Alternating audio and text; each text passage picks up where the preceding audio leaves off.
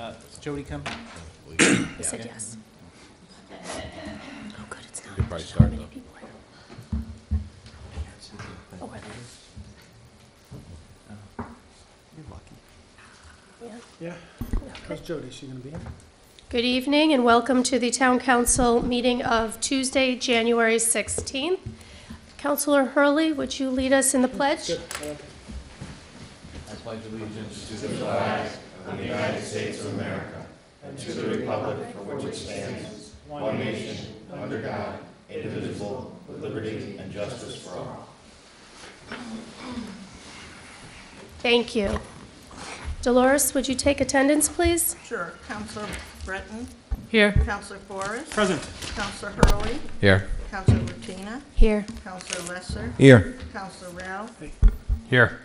Counselor Spinella, Here. Deputy Mayor Martino, Here. and Mayor Morrin Bello. Here.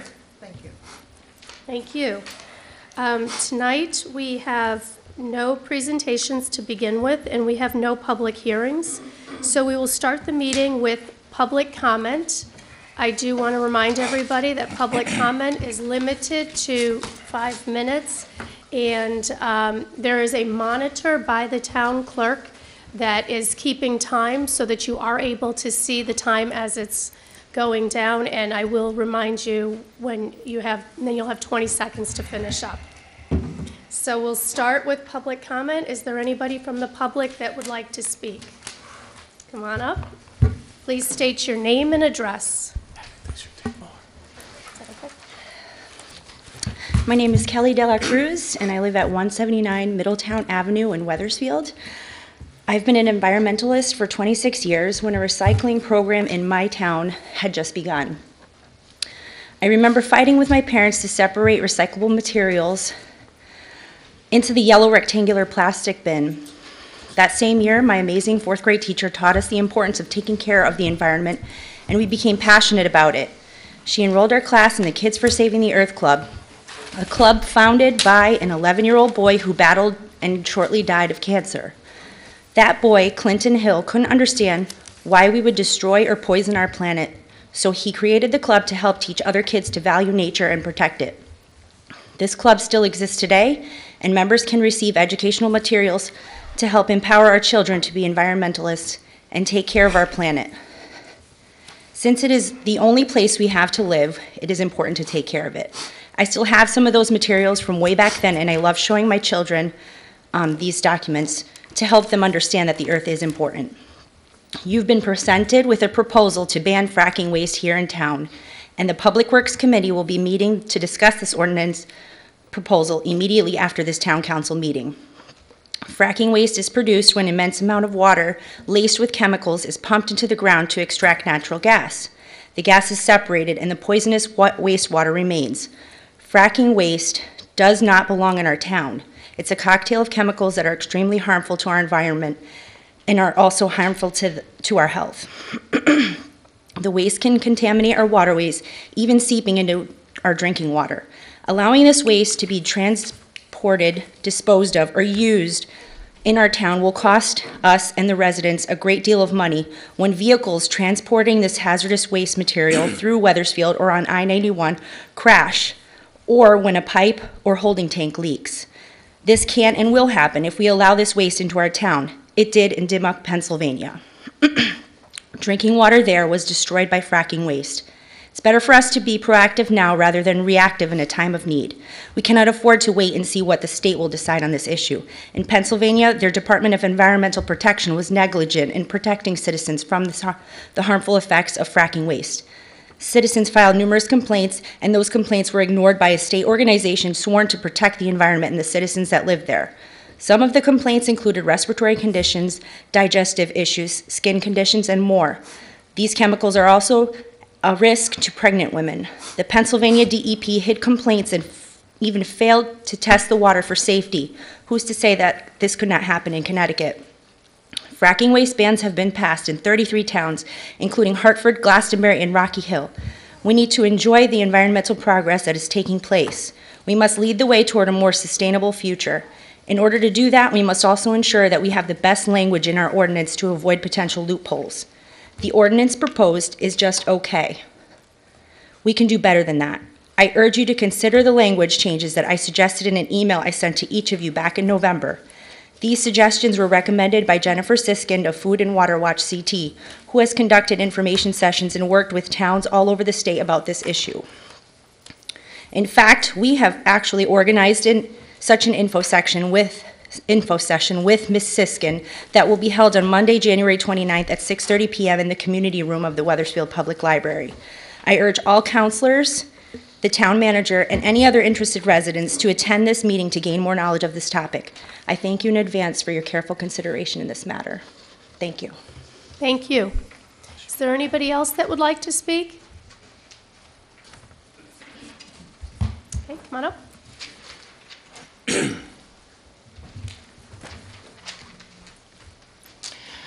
Deborah Cohen, 73 Church Street.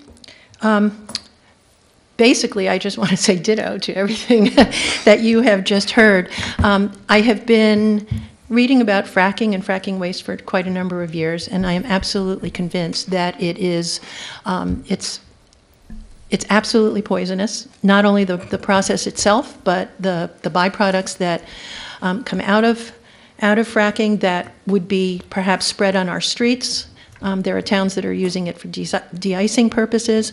Um, like Kelly, one of my biggest fears is that transport through our town might very well result in spills over which we will have no control. That means that the fracking waste will go into our water.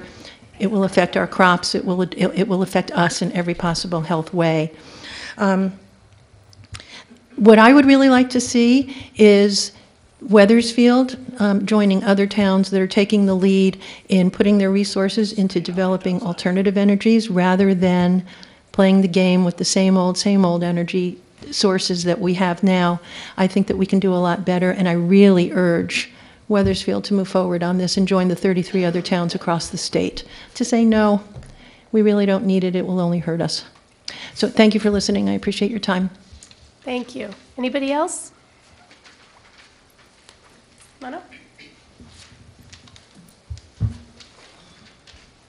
Christy Salters Pedno, 15 Fairmont Street.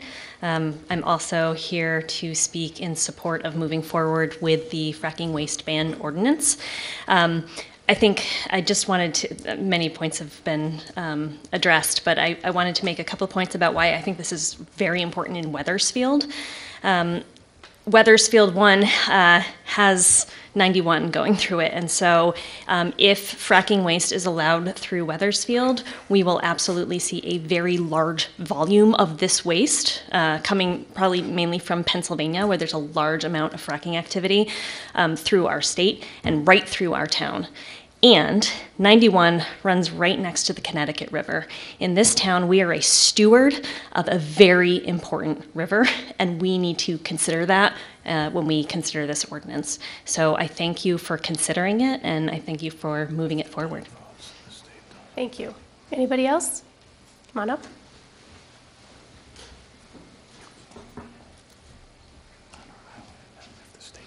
Uh, Marissa Powers, 30 Holly Lane. Um, I'd like to piggyback on what my uh, fellow Wethersfield residents have uh, pointed out with a few additional items, um, noting that S91 would be a corridor um, for the waste that many other of our associated towns and cities have already, uh, you know, said that they don't want in their towns the fact that it would negatively impact the environment for years to come, but also from the financial standpoint. We have agriculture in our town in the form of the, um, the, the businesses that grow the sod down by the river, so that would impact their um, financial um, implications. And since they're businesses and taxpayers in our towns, as well as just humans being in our town, th- those are considerations as well that I wanted to uh, think of. Thank you. Anybody else? Yes, come on up.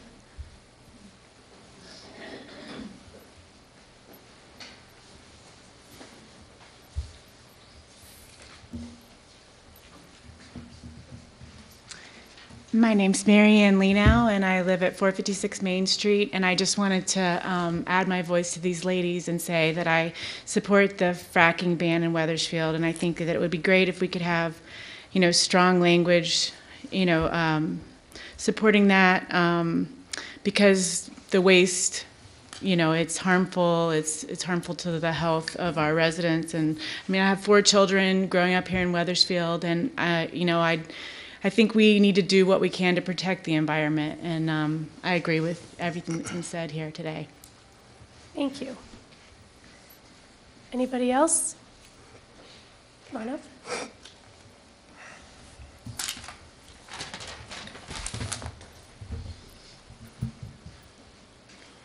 Uh, Megan Faber Hartline, 149 Wolcott Hill Road.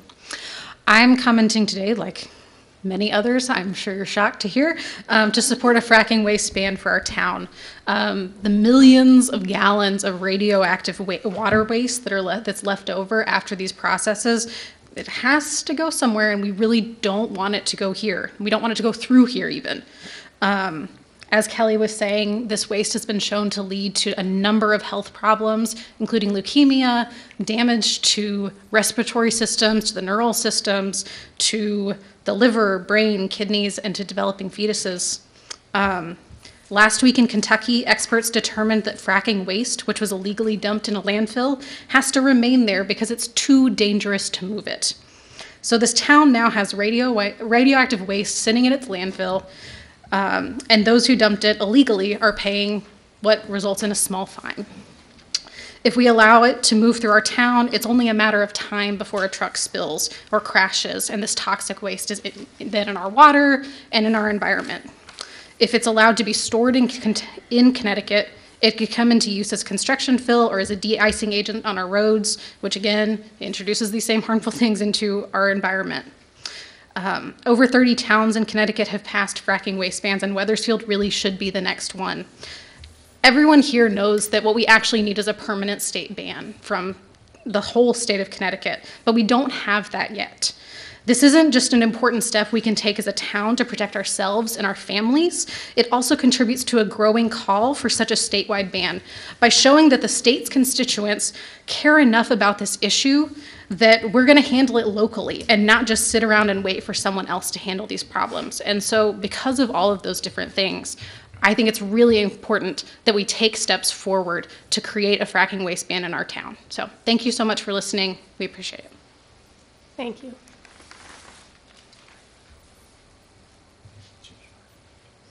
There anybody else who'd like to speak? Up, Cindy.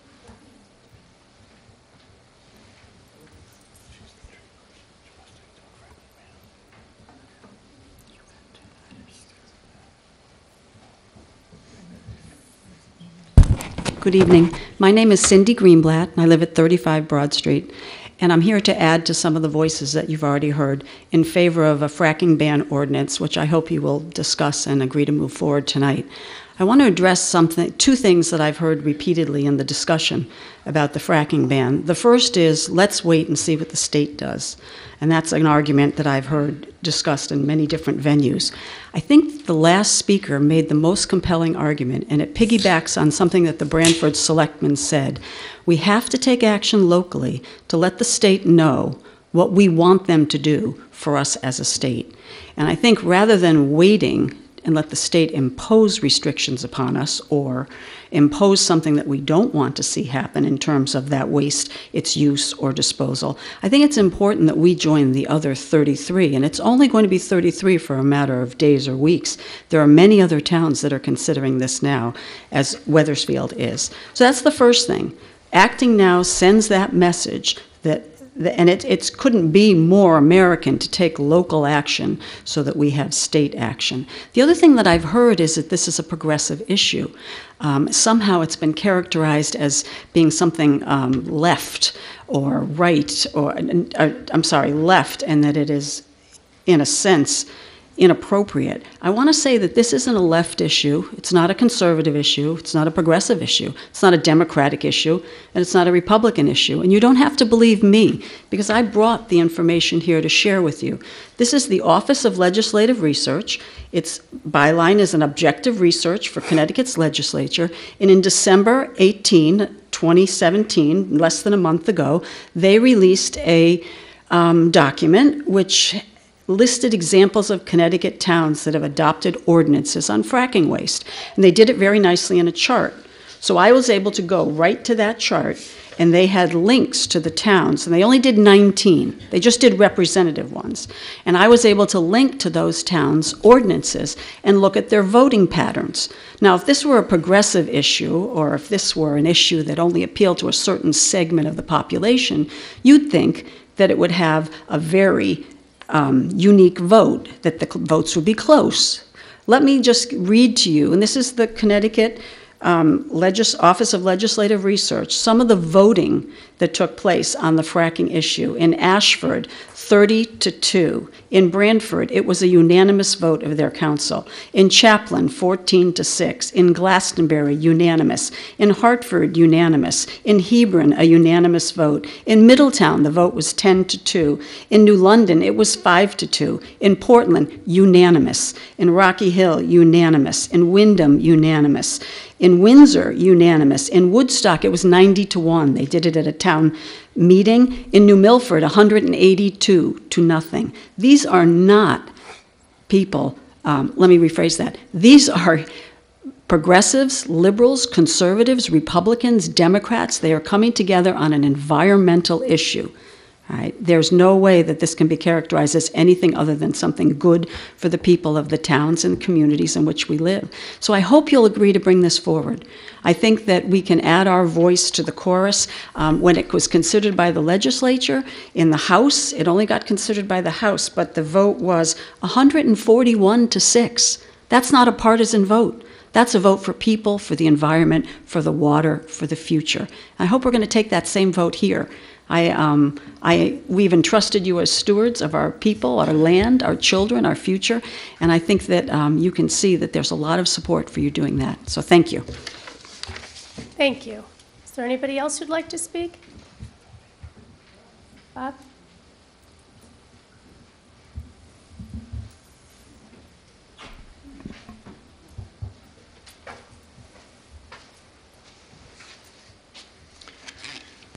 Good evening, Robert Young, 20 Copper Mill Road.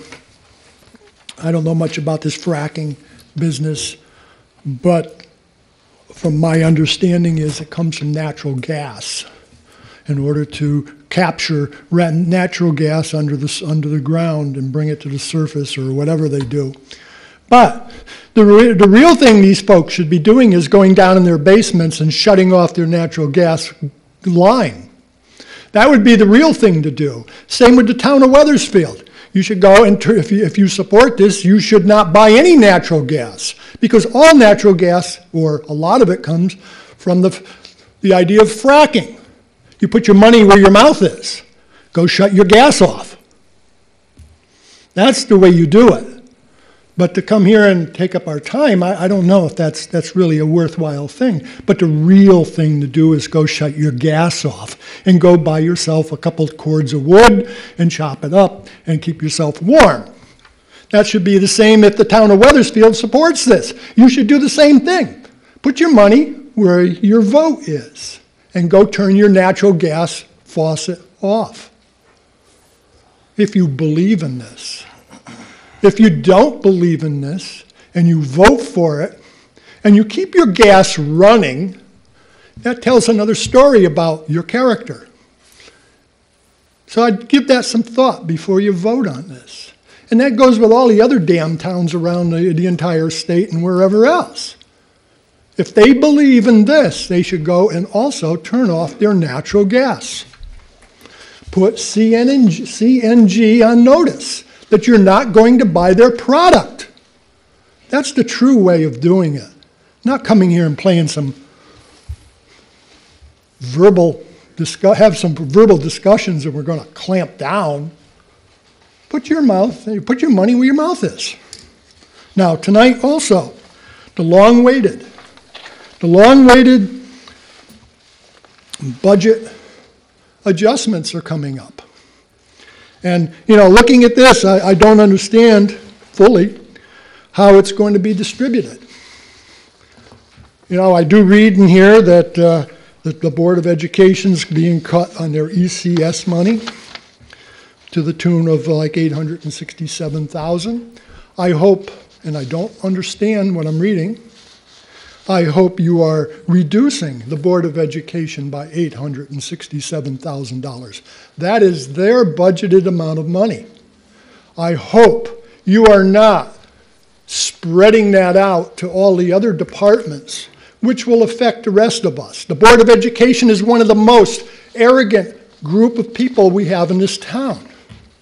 They want, want, want. Their budgets have been exceptionally high over the many years that I've been attending these meetings. And now to share the blunt of this adjustment with the rest of us is wrong. And I hope that's not what's going to happen, because I don't understand again, in reading the information that was on, in the agenda, and I hope you are going to hit them with that $867,000 loss, because it's their responsibility. I know, the, I know, Mayor, you're sitting there like this, you don't want to hear about this, but that's exactly how it is. They get the most amount of money, they're the most minority the school system in this town. The rest of us are the majority, and we get hammered by the town council and the Board of Education. Now, with these adjustments, these midterm adjustments, I think they need to have those adjustments put directly on their shoulders. We shouldn't carry them. Our roads are in terrible condition. I ride on nothing but boom, boom, boom, boom, boom, boom down the road. And it's terrible. We need to get these roads back in shape. We keep putting money into the school system. We're not getting the results. We're not getting the results at all. But we're spending like drunken sailors to the school system, and I hope we take $867,000 out of their budget tonight, not spread it among the rest of us, because that's not fair. That's not equitable. And if you want to stand for being inequitable, you will, you will spread it across all of us. But if you stand for equity, you will solely hit the Board of Ed with $867 and some change tonight. Thank you very much. Thank you. Okay, the back of the room, Julie.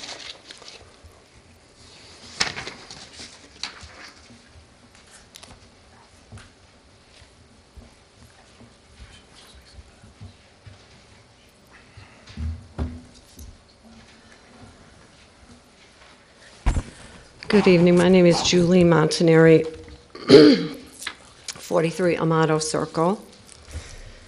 It's kind of nice to be back at the podium after a pretty long hiatus. So I came out to support the local fracking ban. I agree with just about everything that's been said already. I also wanted to state that I think that there's pretty much unanimous agreement that we don't want fracking waste um, in our town. But there might be a little bit of a controversy because there is a state moratorium in place already, which I do appreciate. However, I don't think it can hurt to join these 33 other towns that have already stated that they place a priority on protecting the environment. It sends a message to the DEEP that when they do take this up, that this is a high value in Wethersfield as it is in these other 33 towns. Um, I liked, I, I noticed that there's a little bit of a difference between some of these, and that in Rocky Hill, for example, bids must include a specified statement of compliance. And I do like that provision. It puts the responsibility on the people that want to do business with our town to certify that um, they are not using fracking waste, and I, I kind of like that provision. And I also like that they're charging in Rocky Hill um, for a violation $250 per day, not just a total of $250. So I know you'll, you know, the committee will go into some of the particulars and so forth, but I do like the stronger language in the Rocky Hill ordinance. I also wanted to state on the topic of the town, um, I'm sorry, the state um, cut that has been handed down to the town. And I am not in, I am in favor of sharing the, um, the pain between the town and the Board of Education. there are many, many, many of us, uh, all these, all these moms have kids in school, and they are, of course, not the only ones. Many of you guys have kids in school. And in Wethersfield, we have always placed a high value on education, so I appreciate any effort to kind of spread the pain across um, the town and, and the board. And I know that everybody's doing their best under a really difficult budget. So I, I appreciate the approach that um, the mayor has stated and that she's um, pursuing with the board chair. So thank you very much. Thank you. There anybody else who'd like to speak? Tom, come on up.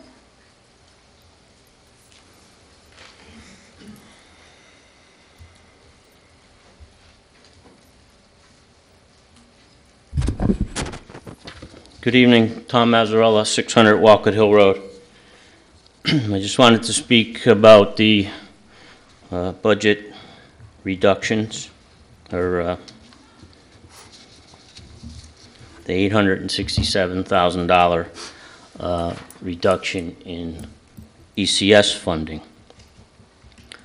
I strongly believe that the funding should be split proportionate, just as it was handed down from the state, and that we would take 867,000 from the Board of Education budget and the remainder from the town budget.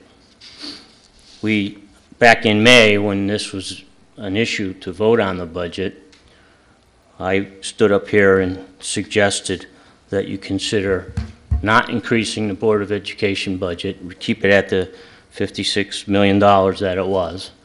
And uh, it didn't shake out that way. Uh, Roughly $58 million was approved.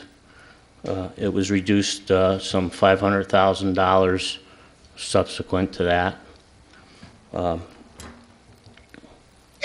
If you take the 867,000 from the Board of Ed budget, you're still 300,000 above the minimum budget requirement. So you don't have to worry about uh, hitting that number. Uh, Mr. Emmett has built a budget with, uh, in my opinion, a severe uh, amount of fat in that budget. That budget doesn't get published for everybody to see. Uh, The town council doesn't oversee that budget. Um, They pretty much do what they want with that budget. Several months ago, before the state budget was uh, signed, we were looking at a nine or ten million dollar cut to Wethersfield. At that time, Mr. Emmett stated in a uh, budget meeting, I was not attending that meeting, but I, this is hearsay. Um, the, the discussion was, what do we do if we have this severe uh, cut? And uh, he said that he could handle two million, three million, once he got to $4 million, we were going to have a big problem. So he's admitted that there's plenty of fat in there. So I think you should hold him to, to the fire, take the cut and apply it equal share, of the 867 to the Board of Ed, the remainder to the town. I don't see any reason why all these other departments should be hit with reductions. You have social and youth services, you have the public library, parks and rec, uh, and so on. Their, their funding wasn't cut. The library, for example, is one of the, probably one of the tightest budgets in all the line items. They have to kick in another 20,000? I don't see that. And the point was brought up. There's 3,700 students in the school system. There's 27,000 residents. The budget is so highly skewed towards education, and I think we have a fantastic education system in this town. But you can't just keep throwing more and more money at it. You have to draw the line. Thank you. Thank you. Is there anybody else who'd like to speak? Oh, Come on up.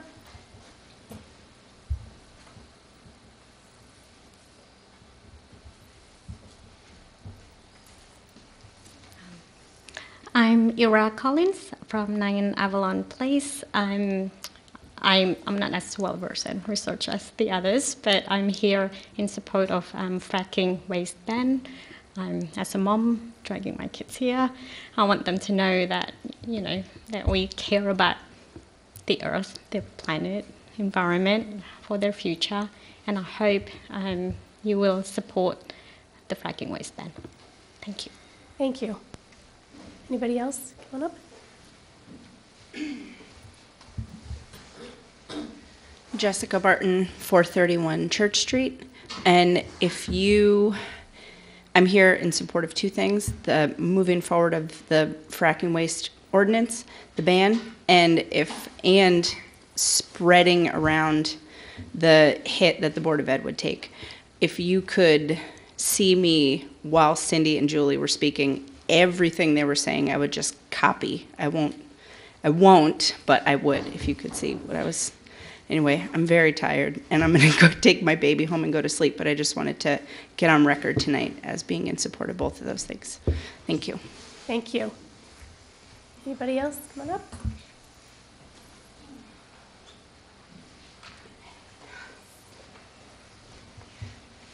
Hi, Casey White, 91 Center Street. Um, I'm also here, as many other people are, to support a fr- the fracking and waste ban that's been proposed. I also agree that we should strengthen it, make it even stronger. I looked up how many square miles Wethersfield is, because the town of Wethersfield is the people in it, but it's also the land and the water in it. It's 13.1 square miles, 6% of that about is water. And there's no one else that's going to look out for that land and water as closely as we can. It's really up to us. Um, fracking waste, we don't really know what's in it. That's because the oil and gas industry works really hard to keep that secret. They don't want people to know. And I don't want that in our water and in our soil. I don't want it on our roads. I don't want it traveling through Wethersfield. Um, it's also important to remember that preventing hazardous materials from getting in your soil and water can be free. This ordinance would be free. That's very cheap. Correcting for that, cleaning up those messes, can be really expensive. And as one commenter said, in one town, it's not even possible. They're not allowed to move that radioactive waste because it's too dangerous. Um, so I'm in favor of the more fiscally responsible option of banning the waste and keeping it out of here. Um, to another commenter's point, we all use natural gas. That's true.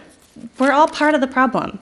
And I really see this fracking waste ban as a, the beginning of a step of Wethersfield and the state of Connecticut becoming leaders, potentially, in shifting away from the fossil fuel industry. We can't get away from it because it's so vast, but it's changing. It already is. The industry has to change. And we could get a piece of that pie. We can really brand ourselves and position ourselves as communities and as a state that really care about this and who that want to bring smart people in to invest, to develop new technologies, and become, um, you know, a premier place that people talk about when they think about renewable energy. I think this is a really broad issue that we can um, champion. So I would like to see the fracking waste ban move forward um, with strong language.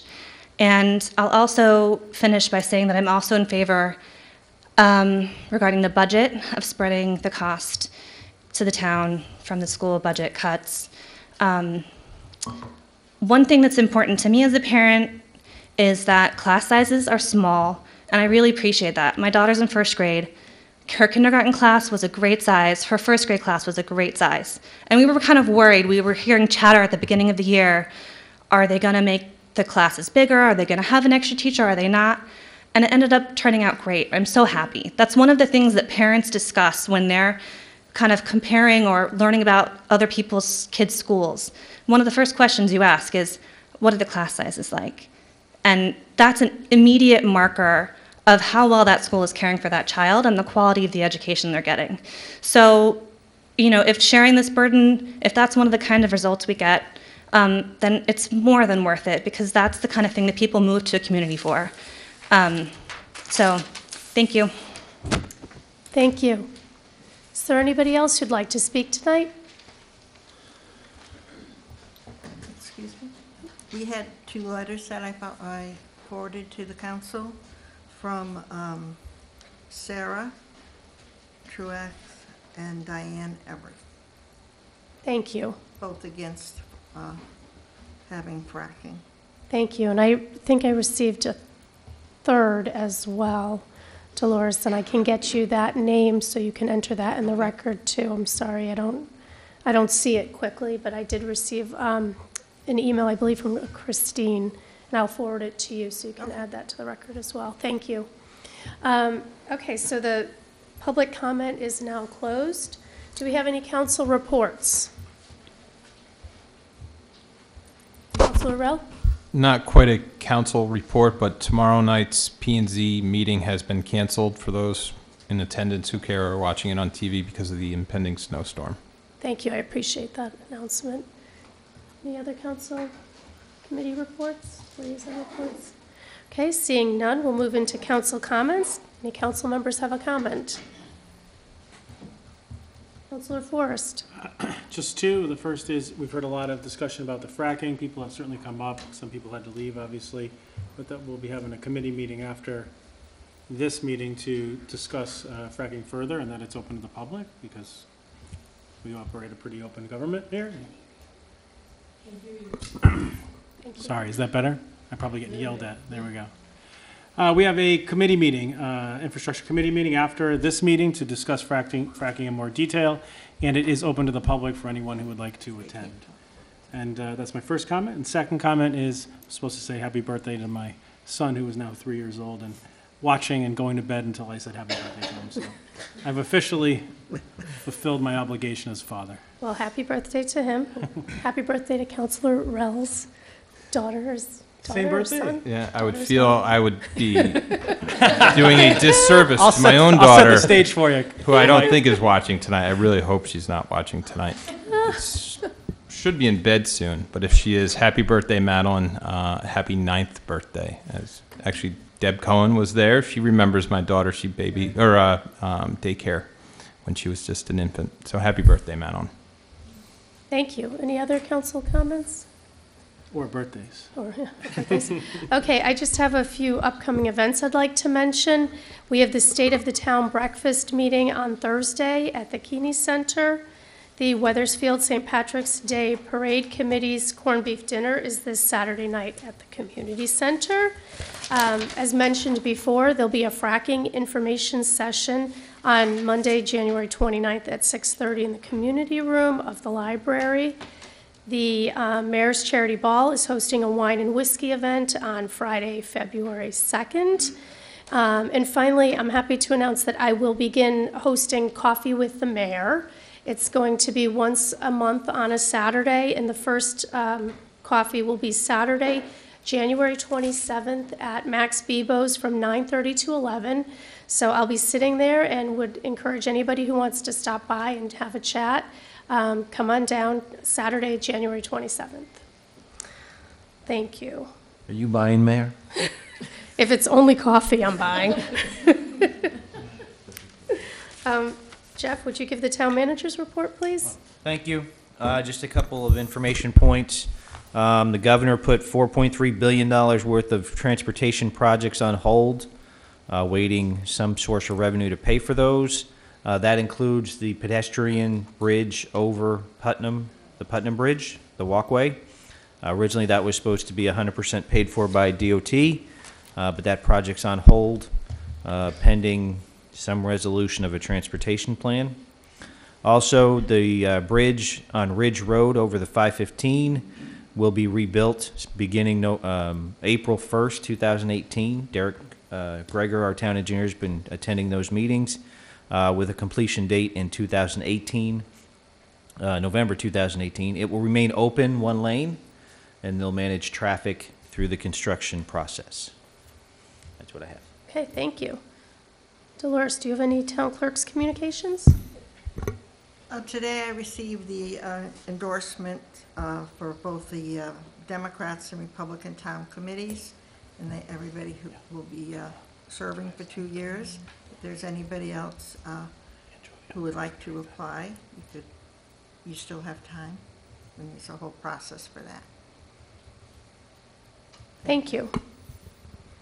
Okay, moving into council action, there are no ordinances, resolutions, or appointment tonight for action. The vehicle lift will stay on the table under unfinished business.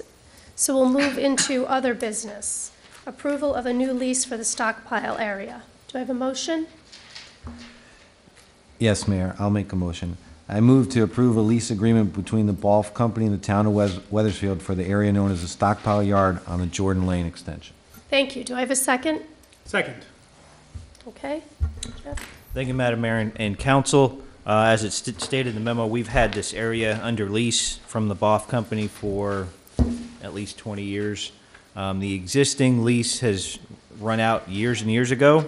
This one is now open-ended, um, and it just provides that we insure, provide them a certificate of insurance, outlines the areas uh, that we do have use of, and what materials can and can't be used. Of course, no hazardous materials. The original intent of the area was just for the leaves, and although that makes up a majority of the use, we have used it for sand, rock. Um, we used it for the debris management area when we had the uh, winter storm a few years ago. So all that got worked through with the Balf Company, and town attorney has reviewed this, Balf reviewed this agreement, and we recommend the council adopt.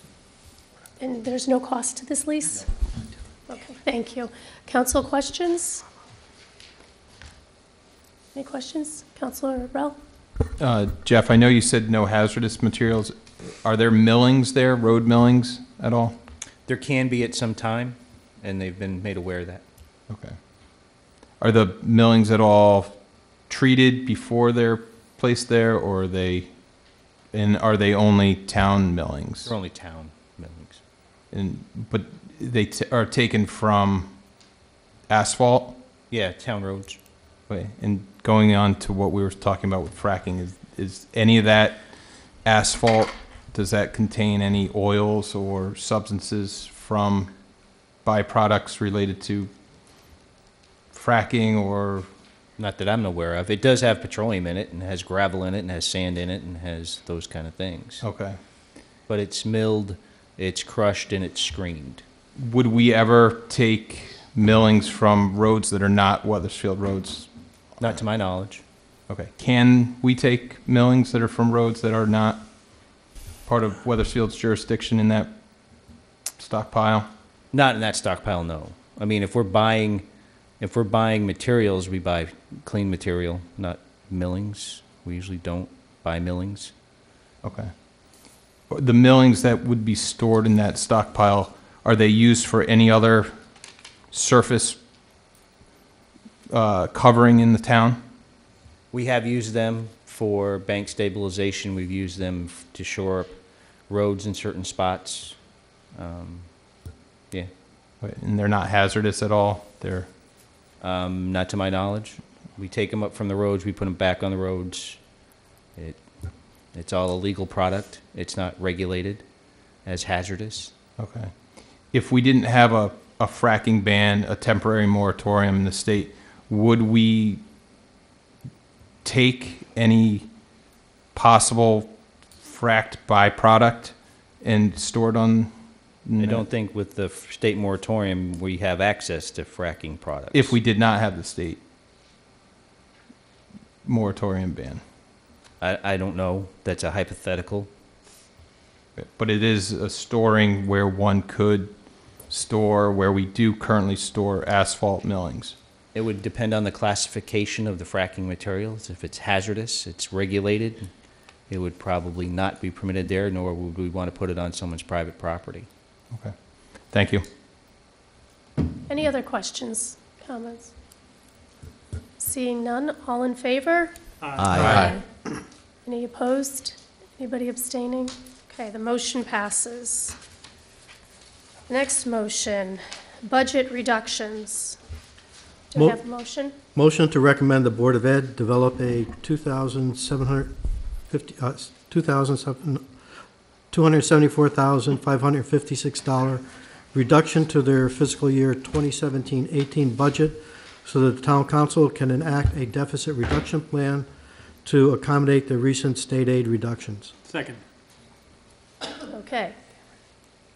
Jeff, would you Sure. begin the conversation, please. Um, Since the three days after we readopted the budget in November and we received what are commonly known as the holdback reductions, um, we've been looking at ways to reduce our budget in a fashion that doesn't impact, at least tremendously impact the programs.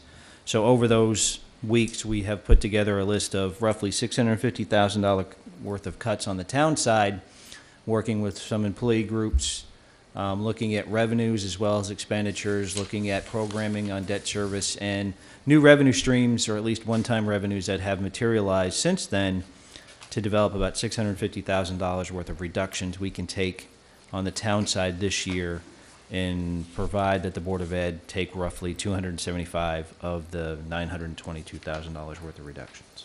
Uh, 867 to them, based upon the ECS cut. Okay, thank you. Um, Do we have council comments? Yeah, um, I have a comment. I was just wondering why we wouldn't have brought this through the finance committee to take a look, because I saw some things that I know I sent you, Mayor, and I thought should be discussed possibly at the finance committee before we sent it over to the board. If We're just making a decision at the council meeting.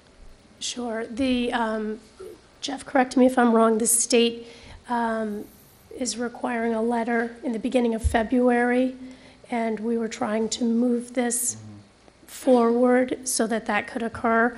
Um, We did have someone out of town, so that the Budget and Finance Committee meet- could not meet last week. And so I thought it was important to try to get it onto this agenda um, so that the town manager could get that letter off to the state in a timely fashion. Okay, I don't agree with everything on here, so just state that. Councilor Latina, oh, I'm sorry, Jeff, did you No, have go ahead. follow-up? Nope, nope, nope. Okay, Go ahead. I Councilor was just Latina. curious, what is the letter that they're requiring? Um, OPM sent out, Office of Policy and Management sent out a letter to all the towns uh, reminding us that we are under a spending cap, although they've reduced our budgets by, at least the town of Wethersfield budget, by $3 million. They're still concerned we're going to spend too much money. So we have to comply with that. No sarcasm, right? Uh, just a little bit, I'll admit it. Um, so we have to prepare by February 7th the comparison of the 2017 to 2018 budget and submit that to OPM showing that we have not exceeded the 2.5% cap. Now, there are several exclusions and certain things that can be deleted, but we need to wrap this process up in time to submit that letter and that spreadsheet to the state. It doesn't appear that we're going to be going over. No, but it's really not, it may not be about 18, but it's going to be 18 versus 19. That's going to be the issue. 17 to 18, we're okay, because we have uh, decided to donate a vast portion of our revenue back to the state.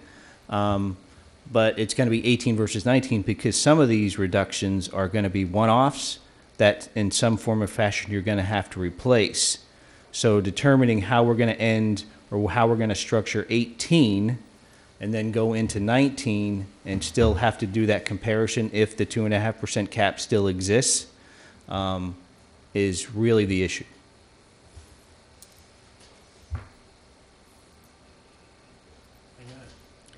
How, how does the holdback or the cut that they're making on ECS affect the MBR? I don't think it does because under the uh, legislation that adopted the budget back in, Nov- in the state budget back in October, it said that MBR is not relevant if the uh, reductions are due to state cuts. I would consider, although it's a holdback and it was discretionary at the governor, I would consider that for MBR purposes to be a state reduction. Now, that may be challenged by the Department of Administration or whoever, but I think that's consistent with the intent of the law. And I'm not a lawyer, but I'd make that case. So MBR, is, to me, is really not an issue one way or the other. This is about how are we going to structure 18 so when you try to replace the one-time expenses and the reductions you're taking on the board um, next year because you have programs that you must continue at some point, are you going to exceed the cap and then probably, and then possibly face, because you exceed the cap, a reduction in revenue from the state? Now, again, there's certain things that are excluded, certain things that are included. Um, So it's really a formula that hasn't been fleshed out, so we're going to do the best we can to flesh it out. They've kind of made some discretionary, um, let the towns some discretion on how they apply certain exemptions. So we're going to figure that out, what puts us in the best position next year. Because next year, we have 300,000 of MDC, we're going to have to replace some debt service, we're going to have natural growth in health insurance and so forth and so on. So we have to prepare ourselves in this situation for 19. And getting this resolved sooner than later allows us to kind of do that. That leads me to my next question, if I could be indulged. Um, the way that this is being distributed or potentially being distributed, does that leave us in a really boxed in position on the town side? Because it appears that we would have nowhere to go. What I would like to do, and we've had some conversation, I apologize, um, as we work through this Friday, Saturday, thinking about it over the weekend and so forth, probably what I would recommend you do at this point is not amend the budget, but recognize the deficit mitigation plan so the budget stays as adopted in November.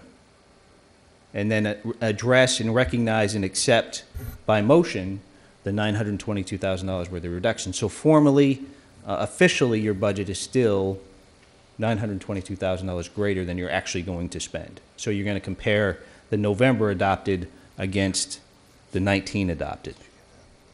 See what I'm saying? I don't, I'm sorry. Okay. Well, if you were to go forth tonight and amend the budget by $922,000, reducing it, right, bringing it down, Mhm. and then you go into 19 and you have to replace all those things. Yep. So now you're adding $922,000 to 19 plus whatever else you get to add on. The possibility of exceeding the 2.5% cap is greater real. than if you leave it up here, reduce it mechanically Mhm. or administratively rather than formal and legally, then you're still prepared for 19. You're making the necessary cuts, you're going to drop your budget, you're not going to spend as much, but you're not amending your budget Mhm. formally Mhm. to address that, and thus setting yourself up for a rebound in 19. Got it. Thank you. Sure. Other council um, comments, questions? Anybody? So just to be clear, the, the motion, or- so the motion, just so I'm clear, is, okay, we're going to hold on actually doing what we're doing and let the Board of Ed, right, take an action? Yes, the motion um, was to recommend that the Board of Ed um, Reduce their 2017-18 budget by the $274,000. So in doing that, we're um, assuring that the Board of Education will find that, that money in their budget. And once we have their assurance on that, they can make a motion at their Board of Ed meeting next week, we hope. Then we can come back on our February 5th meeting and formally adopt a mitigation plan, and that gives the town manager a few days to get the necessary paperwork to OPM. How'd I do? Awesome. Clear? Yep. Do we have to, do we have to put a dollar figure on it? Dollar figure on what? Well, the Board of education Asking Education, them to come up with a deficit plan. um, I would say yes, that we need to um, give the Board of Education direction on what we want their cut to look like, or, or it's not a cut, what the, what we want to withhold from their spending this year. Councilor Rell? Thank you. Where did, and again, I, I quickly jotted it down. Where did we come up with the 274,000, was it 547? Sure, those were the, the town manager and finance department um, went through the potential areas in the town budget to increase and decrease um, to come up with the, the town's portion of the 922,081, and it ends up that that is the, um, the dollar amount that remains for the Board of Ed. Um, Jeff, if you would, you- would Yeah, you like to discuss those? Well, I think what's throwing people off, or what throws the numbers off, the, the total reduction received to the town was nine twenty-two, zero eight one. We're addressing on the town side, or we're, we're looking at it as a revenue to the town. The adult education uh, revenue sharing goes right to the board. So we're not addressing that in this action at all. So the real number is, what is it, Mike, 921 something? 298. Yeah, so that kind of where the differential is. So when you look at the 647,000 plus numbers we came up with on the town side, and you deduct that from the 921, whatever it is, you're left with the recommended reduction on the board side.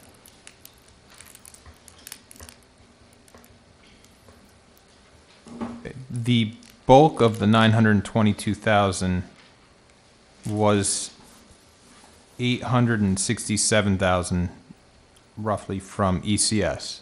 That's Does- correct. And that ECS comes to the town side Yes. first? Mhm. That's a revenue to the general fund of the town. Okay. D- Of that eight sixty-seven, six seventy-four, does the town budget take into consideration any of that money, or is that over onto the Board of Ed? We, we realize and recognize and budget for the ECS revenue to the general fund of the town. And our distribution of the Board of Ed budget is a general fund expense. So it's money into the general fund, money out of the general fund. Mhm. So with the reductions, we're reducing the general fund to account for those, that ECS reduction.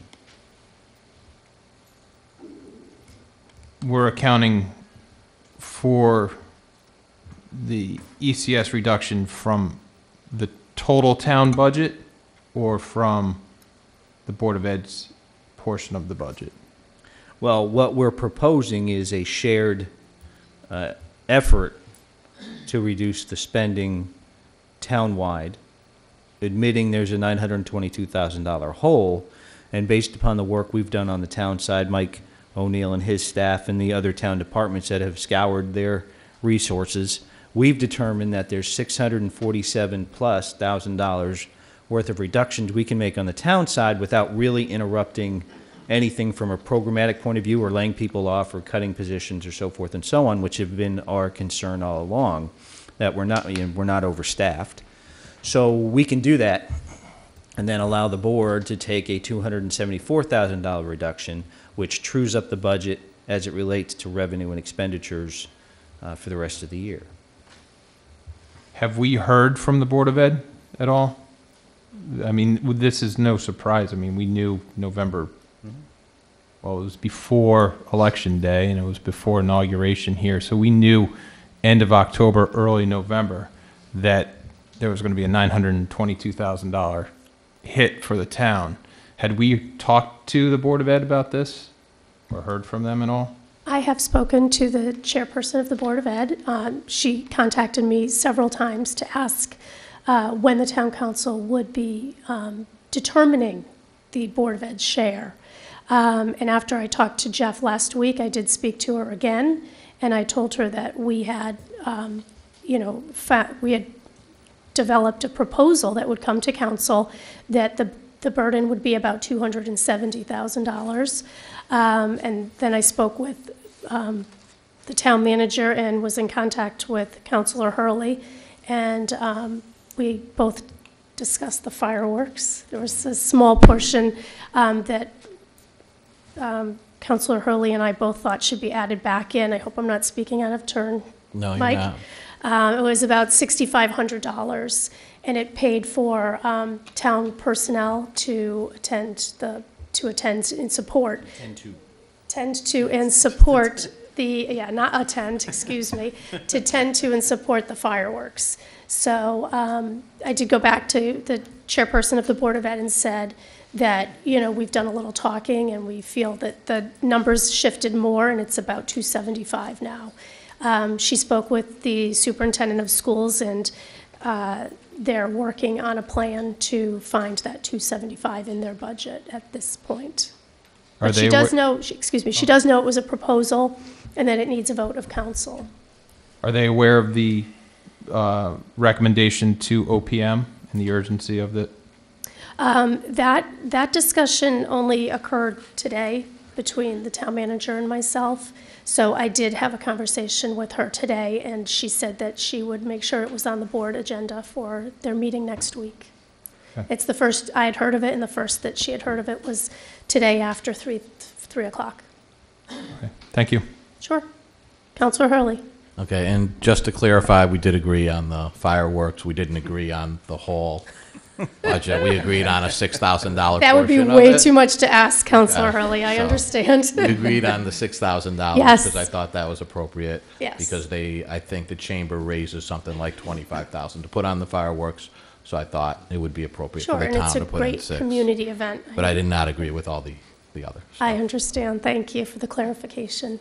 Uh, Any other council members? Councilor Forrest? Should we, um, I'm sort of asking, the- this microphone's really getting to me. Um, Should we um, formally inform the Board of Education of the time frame with which we're expecting a response? So in this, should we say, and a plan shall be delivered back to the town council by, you know, the Wednesday after, or after their date, instead of sort of just leaving it out there? If this is the, in- if this is the intention of this, and this is sort of our, in a, in a way, directive, figure it out, come back, set the, due- set the due date, and, and, because we have requirements too on our side from mm-hmm. what I'm hearing. So I'm not gonna propose an amendment right now, I'm happy to do it, but, you know, hear from other, I'll hear from the town manager, see, and mayor and so forth, see if you guys think that's a good idea, happy to make the motion, and we can make it a day after the next board meeting, or whatever you think's appropriate. Resolving this sooner so we can get into the 2019 budget would be better. What, and what date, what date would you recommend that, uh, we, uh, request a response by? I agree, sometime next week after the board meeting would be appropriate, unless you're gonna do a special meeting in between somewhere. But we would need it by the end of the month, definitely f- to get ready for our meeting on the 5th. And let's see, do they meet on uh, the 22nd? Is that their scheduled meeting? Jeez, I don't know. I mean, I'm just going next, they meet on, uh, or they meet on Tuesdays, right? They meet on Uh, I Tuesday. should, I should be the one that knows this. Um, Yeah. The 20, there's a joke in there, believe me. Uh, The 23rd? All right.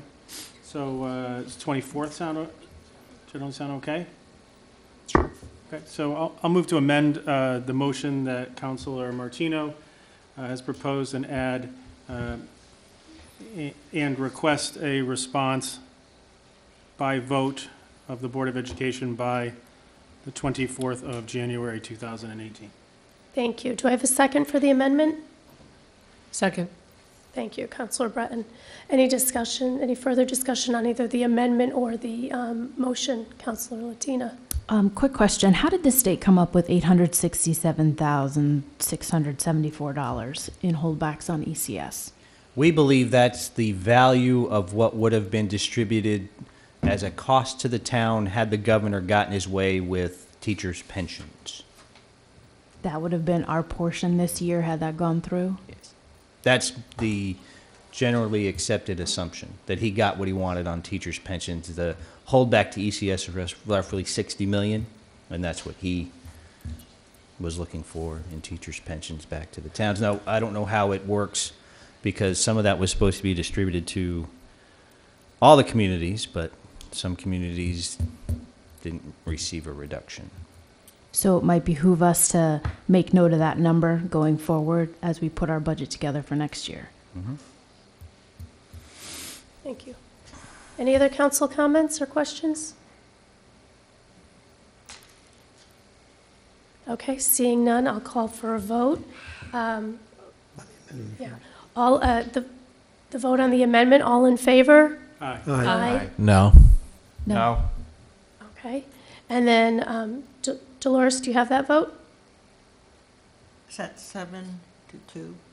I think it was Or I six, didn't hear six, you, three. Jody. I said no. Okay. Okay, thank So you. it's six, three. And then if we could have a vote on the motion, all in favor? Aye. Aye. Aye. No. No. No, thanks. Dolores, it's a six-three vote Right. again? Yeah. Okay, very good, thank you. Our next agenda item is um, B3C, a memorandum of agreement. Do I have a motion? Uh, Yes. M- um, Motion to approve memorandum of agreement regarding use of federal fiscal year 2017 state homeland security grant funding and custodial ownership of regional assets in DEM DEMHS Region 3. Thank you. Do I have a second? Second. Thank you. Town manager? Thank you, Madam Mayor and Council. This is an annual agreement, um, which basically provides that the town of Wethersfield uh, determines that DEMHS and CRCOG manage the local homeland security dollars that are available through the federal government. Um, There's a piece of this that gets um, sent to the state for regional uh, services, um, you know, airborne warning type things, radiological, chemical type things. Um, The Connecticut Intelligence Centers, which the police department use for intelligence purposes, those are on state levels. Then locally, CRCOG also handles regional teams like the regional SWAT team, regional dive team. Um, There's certain equipment that we share regionally, and they manage those resources, uh, the- both the material assets and the financial assets of those, of those dollars. So this is something we do every year. It's worked very well. Um, Recommend approval. Great, thank you. Do we have any council questions or comments on this? Seeing none, all in favor? Aye. Aye. Aye. Anybody abstaining? Any nays? Okay, the motion passes. Um, We have no bids, no ordinances, resolutions, or appointments for introduction. So we have the minutes of January 2nd. Do we have a motion? So moved to approve. Second. Okay, are there any corrections, additions, or deletions? No. All in favor? Aye. Aye. Aye. Any, any nays, any abstentions?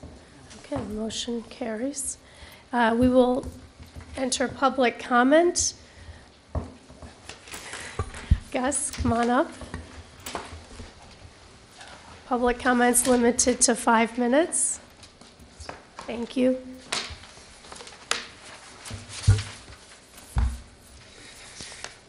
Good evening. Gus Antonio, 16 Morrison Avenue. I guess, you know, you must think that I really love to come up here. Well, I don't, but I, uh, I will not go away. On uh, numerous occasions, the town manager has, said, has stated that uh, I got all the answers to the questions that I ask, I guess, over the last nine to 10 years. And yet, the only answer that I can remember is that there are too many stop signs and we don't want to install it anymore. That's one thing. Not too long ago, I've asked the question, well, no, last year sometimes, basically. After the construction of the sidewalk, did, uh, did the police had another chance of uh, looking at their intersection between Tifton and Morrison Avenue to see if it was okay? And I was told, yes, they have reviewed it and everything is okay. Which I don't have any reasons not to believe that, but uh, usually when you ask the police department or any agency within the town, uh, I guess something is written. And if it's possible, can I really get uh, a copy of whatever they said? Because, you know, I, I've seen it, uh, correspondence before where, uh, you know, the previous town manager said, yeah, on such and such a date, we have done what you asked for and so forth and so on. Because I just cannot understand why the police department would say you need a, you need a stop sign in one direction, you can see 290 feet, and yet you don't need a stop sign if you can only see 232 feet. That's one thing. Uh, last year again, I asked the question, the town the town engineer, which is a PE and everything else, he has all the information that I have. I would like a statement from him to say that this intersection and Tifton and Morrison Avenue is safe. I've asked and I did not get it yet. This was last year sometimes. not too long ago, I guess there was a, an accident uh, on Morrison Avenue, close by uh, Silas Deane. Somebody was coming from a driveway and uh, somebody was going too fast and uh, they had an accident. And, and I was complaining. I got out of that driveway and it's impossible to see it. There is an evergreen there and the town manager mumbled, says, no, we're doing something. Okay, we're doing something. I also mentioned basically the sidewalk and Orchard where the, the edges are halfway on the sidewalk side. Oh, we're taking care of it. We're taking care of it. Well, how long do we have to wait? I mean, it seems that every time I see the street and the work that the town does, there is no really accountability at all. Nothing whatsoever. I don't know why. I worked for 37 years and I, and I felt good. I was responsible. I mean, I cared about my job. But sometimes I wonder right here. They came and replaced the bituminous concrete on, on, on the corner of, of Orchard and Morrison Avenue. But yet, they did not replace the, conc- the bituminous concrete on Walker Hill and Morrison Avenue. I say, why? Why? Is it because they did not see it? It's impossible. Or they chose to, to, to fix one and not the other? I also asked a question, you know, many months ago, or maybe years ago, says, if you never had any intention of doing anything at all on Hillcrest Avenue and Orchard, why did you ever take the intersection side distance on, that intersection? It meets all the standards. They have three stop signs. It says it was installed many years ago. It- the fact still remains, Morrison Avenue was built. It was never meant to be connected to Silas Deane. The frontage of the houses to the street is completely less than Hillcrest Avenue. So years ago, in 1955, we did not really have any through traffic. Now we have twice as many cars on Morrison Avenue than on Hillcrest Avenue. And I asked the question, why? And I got all the answers. Well, I'm still waiting. And I would wait, and I would come right here every time I have a chance. Thank you. Thank you. Anybody else like to speak? Mr. Mazzarella?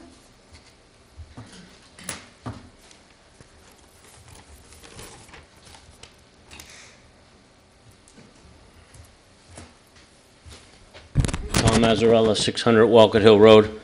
Just want to make one comment on the fracking waste proposal.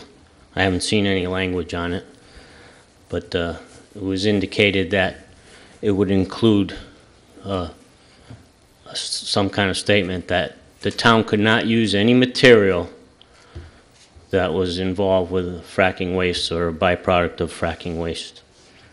Um, one of the commenters tonight said, you know, this, this ban doesn't have any cost to the town, which on its face, it appears so. Just, you know, have a couple meetings, review some language, and, and put this as an ordinance uh, in the town uh, documents. Well, there could be a cost, because if you notice that little discussion between the town manager and Councilor Rell about millings and whether or not they should be deposited on that golf property if we don't really know what's in some of this stuff. And it may come to the point where the town needs to buy a material, whether it's a, a, a fill material or millings or road salt or brine solution for treating roads for winter. And if you have a uh, ordinance that's in place that is so strict that you require all the suppliers to state without a doubt that there is no dangerous material in their product, they may not be able to do that.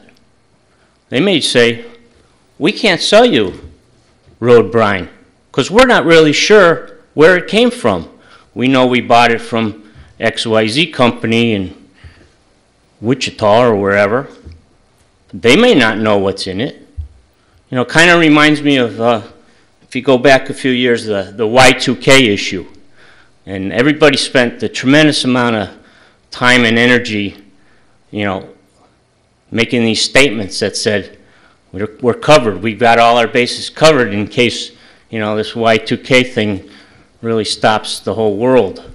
And uh, this, this could kind of turn into some kind of situation like that, where you can't really prove if the stuff is clean or it's not clean.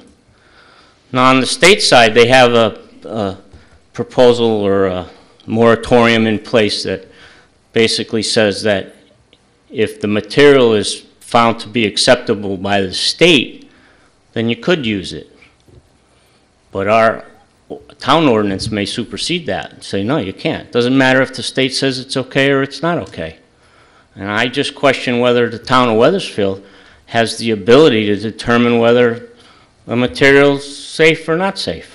I would think we would defer to the state that has chemists and Environmental Protection Agency and all this uh, resources to prove whether something's harmful or not harmful. And yet the town of Wethersfield's going to say, no, we know better. So, like I said, it appears to be relatively harmless, and I'm all for protecting the environment and so forth. But you don't want to put something in place that's going to tie the town's hands and make it uh, cost prohibitive to buy some of these materials and, and to operate our town. Thank you. Thank you. Anybody else like to speak? Come on up.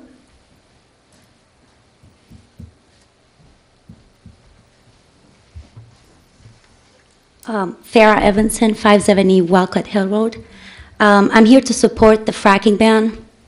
Um, actually, they are a, a cleaner alternative to flat fracking. There's different technologies that companies can use to frack. And I feel if we push these big companies to use a, an alternative, they will. We are the consumers.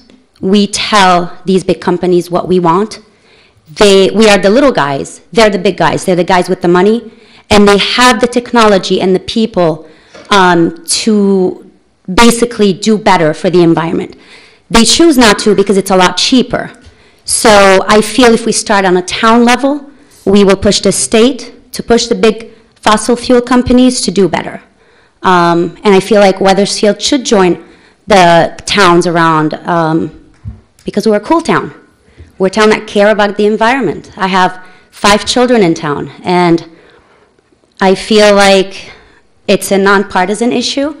Um, we all care about the environment, Republican, Democrats. Um, and I feel like we have smart councilors. You will do your research and you'll realize that it's the right thing to do. Thank you. Thank you. Anybody else like to speak? Bob Young?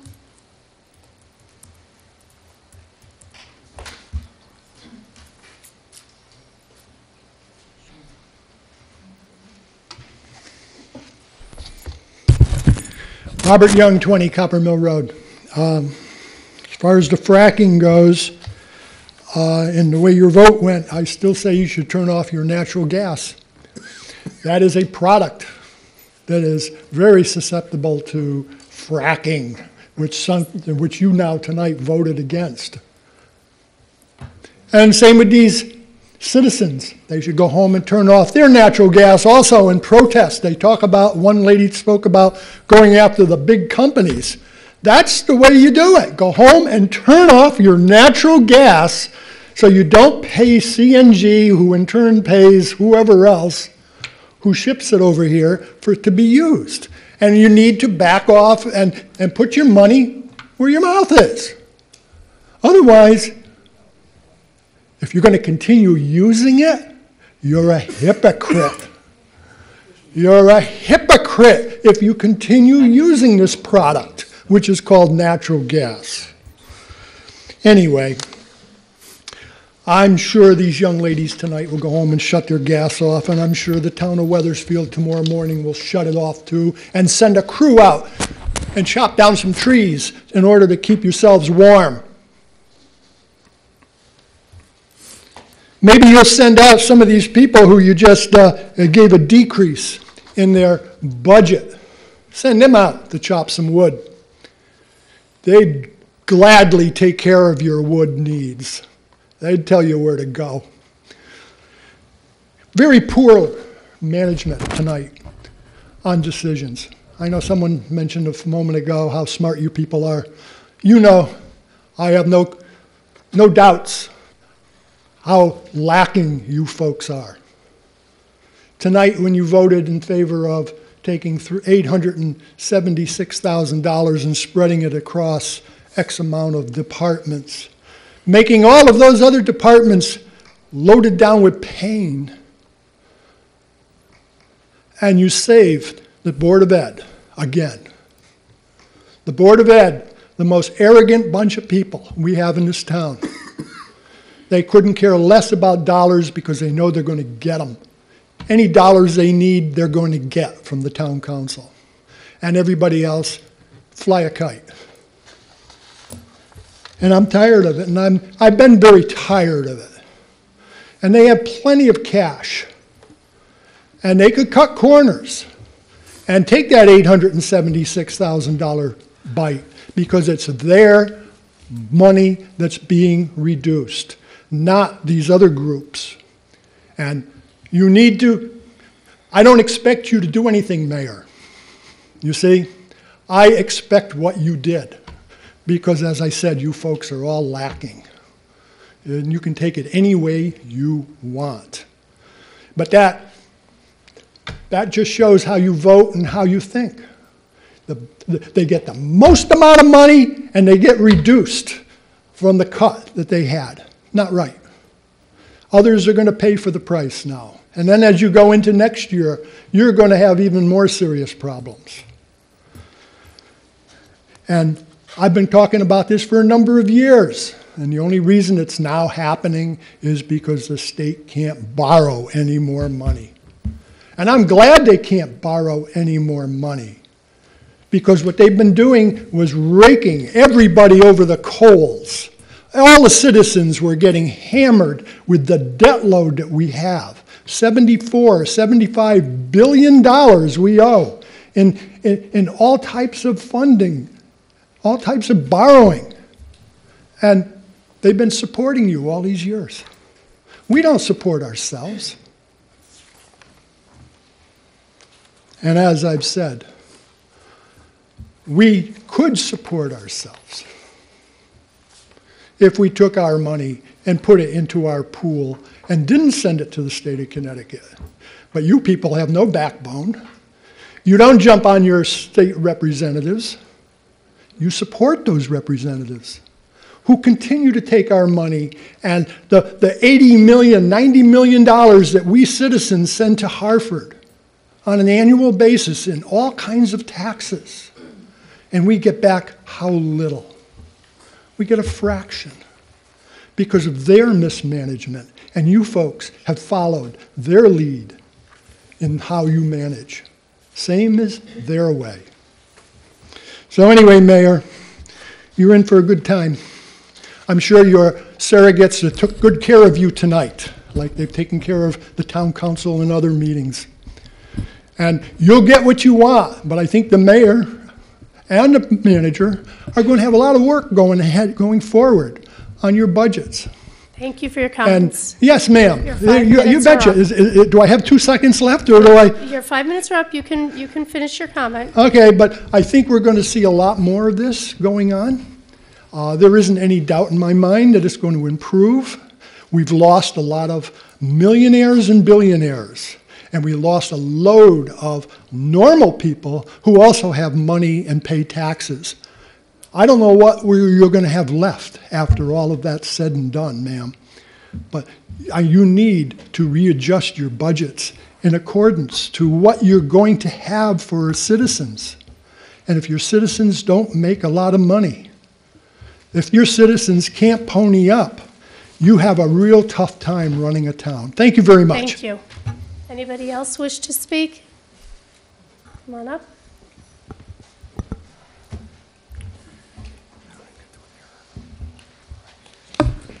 Casey White. I don't know if, to if I have to say my name again. Casey White, 91 Center Street. um, the point about a hypothetical that we might have to not have a supplier for de-icing brine, uh, if we included a, a clause in the ordinance requiring a certification from suppliers that there was no fracking waste in the product.